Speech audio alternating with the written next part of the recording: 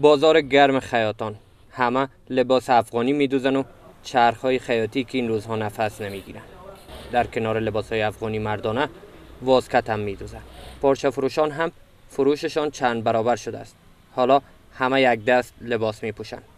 ویترین نمایش فروشگاه هایی که در گذشته دریشی بوده است حالا لباس افغانی شده و فروشندگان پارچه و خیاط های لباس افغانی این روزها راضی به نظر می رسند.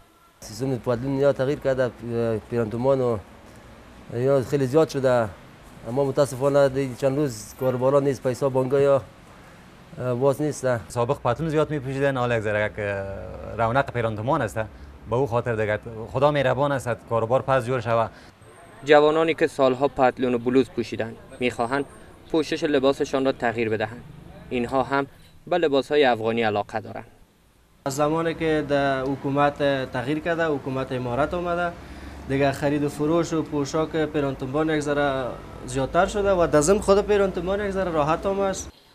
اما فروش لباس هایی که در گذشته جوانان استفاده می کردن کم شده است تا جایی که فروشندگان این کالاها در هفته یک قلم جنس به فروش نمی رسانند. خرید فروش بلوز پتلون ضعیف شده از روز که حکومت امارات آمده. دیگه سطح کاربار بسیار زیاد پایین آمده. بخصوص پتلون بلوز یا اصلا کس قدر علاقه منی برش قبلا ور نداره این یکی از مراکز تجاری لباس زنان است. لباس های با زرق و برق محفلی که این روزها مشتری ندارد.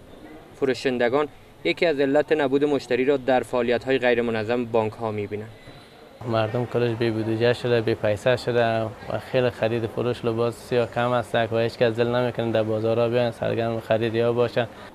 بازارهای لباس زنانه و مراکز تجاری شیک همه سوت و کورن. روشن نیست که دیگر رونق به این بازارها می آید یا نه. اما فروشندگان می‌گویند اگر وضعیت این گونه دوام کند تصمیم دارند تغییر پیشه دهند.